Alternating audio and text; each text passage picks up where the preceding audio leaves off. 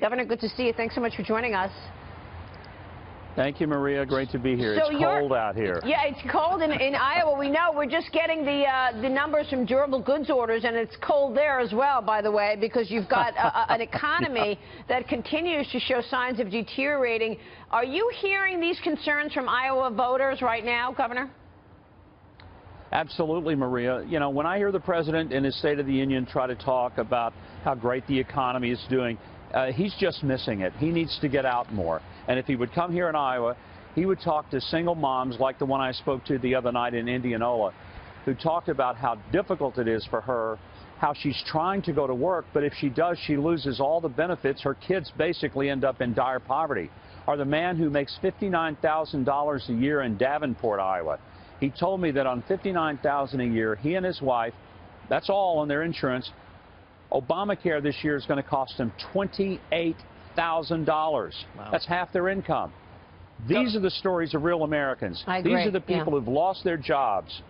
And Governor uh, Andy Busch here, I think what's interesting on the Republican side, uh, and you're certainly part of this, I, I, haven't seen this in a very, very long time where the Republican candidates have put out detailed tax plans. And I think yours is very interesting because it's a national sales tax, but you eliminate the income tax and you also have full expensing contained in there. Walk us through why that's important for Iowa. Well, it's important for all of America because right now we tax capital and labor. So everything we make in America has 22% embedded tax in it. But they're not taxing capital and labor in our competing countries like Mexico, China, Indonesia. As a result of that, we're getting hammered. People are losing manufacturing jobs, 5 million since uh, the year 2000. Trillions of dollars of money is parked offshore that would be in our economy, but it isn't because people are protecting it from the income tax. So if we stop punishing, which means taxing, the productivity of workers, if we stop taxing the investment of investors, then we have work and investment coming back. We're losing both. And that's why the fair tax is a, a superior alternative to taxing people's productivity, their income, their investments. Why do you think you're going to be able to get tax reform through when we've been talking about this for so many years and it's been so impossible to get done? You have to have leadership to do it. It's never going to get done without a president who can explain it, who can articulate it, and who can make Americans understand how this helps them. And that's one of the reasons that I'm in this race because uh, I don't think most of the tax plans, I hear some of these guys, and, and all they're doing is tapping the hammer, twisting the screwdriver. It's tinkering with the tax code.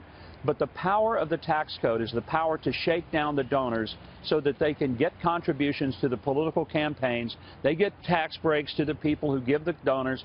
And look, the people who are taking the gut punches are the folks out here in middle America who don't make millions of dollars a year, they're hoping to hold on to a $45,000, $50,000 a year income, if that. Yeah. And they're the ones for whom tax reform makes a world of difference and puts them back in the game of being in the middle class. So, so how do you prepare for tonight, Governor? How do you think tonight will be different, given the fact that Donald Trump will not be on stage? Uh, and what are you doing to sort of break out? Well, you know, I've got to just answer the questions honestly. I hope I, we have substantive questions. We have in the last few debates, and I think that's been very helpful. Uh, fr quite frankly, and I'm not just uh, now kissing up to you guys, but the Fox Business debates were the two most substantive debates that we have had in the entire cycle. And I say that sincerely because the questions much, were about issues. Mm -hmm. No, they truly were. They really, genuinely were. And that's what we need tonight. We need questions that focus on the people of America and what we would do as president to help their lives get back on track so that uh, we can hand this country to our kids and grandkids in better shape than we found are, are finding it right now. Uh, uh you think it's going to be a, a, a real sort of different, a stark difference with Donald Trump not on stage? You know, I don't know. Uh, I, I, wasn't going to be on the stage with him. Um, but yeah. I, I think way too many people are talking about Donald Trump, and they're not talking about the Americans out there, uh, you know, who lost their jobs at the Newton, Iowa Maytag plant when it shut down. And, you know, it's not about Donald Trump. It's not about me. Uh, it's not about any of the other candidates. It really ought to be about how Americans are getting hammered out there every single day. And you watch people, you look in the just their faces, and you see their their sense of frustration. You see their anger. Uh, it's, it's like they know that the people who are shelling out the big bucks to the politicians, uh, they're fine. They're going to be uh, they're going to be great. They're not going to have to miss a vacation. Uh, they'll jet away to the Caribbean when it's cold, and they'll summer in the Hamptons and go to Maine.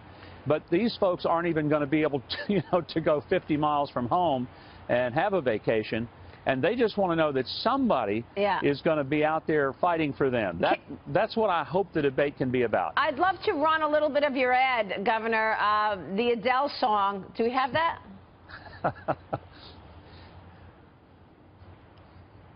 Here it comes. Iowans Okay. are not for sale. They're stubborn and picky.